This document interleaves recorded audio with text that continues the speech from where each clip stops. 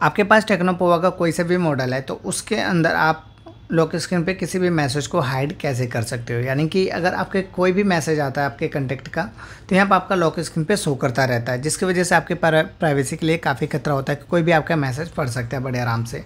तो उसको करने के लिए क्या, करना क्या होता है? सबसे पहले हाइड करने के लिए तो आपको जाना होता है सेटिंग में। यहाँ पर आपको दिख जाएगा डिस्प्ले एंड ब्राइटनेस इस पर चले जाना है। सबसे लास्ट में जाएँगे, यहाँ पे आपको दिख जाएगा लॉक स्क्रीन इस पर आपको चले जाना है। जाने के बाद यहाँ पे आपको दिख जाएगा लॉक स्क्रीन डिस्प्ले इस पर आपको जाना है। तो यहाँ पे आपको कुछ इस तरह से सामने आ जाता है। अब यहाँ पे आने के बाद यहाँ पे आपके तीन ऑप्शन शो करते हैं। यहाँ पे आपको दिख रहा होगा शो नोटिफिकेशन कंटेक्ट यानी कि जब इस पर आप करेंगे तो यहाँ पर आपका शो जो भी नोटिफिकेशन और कंटेक्ट होगा, सारा का सारा आपका नोटिफिकेशन लॉक स्क्रीन पर शो करेगा।